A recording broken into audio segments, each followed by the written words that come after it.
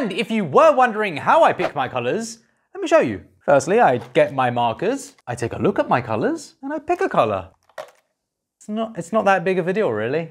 I don't do art to be perfect. Perfection, in my opinion, is boring, and mistakes don't exist.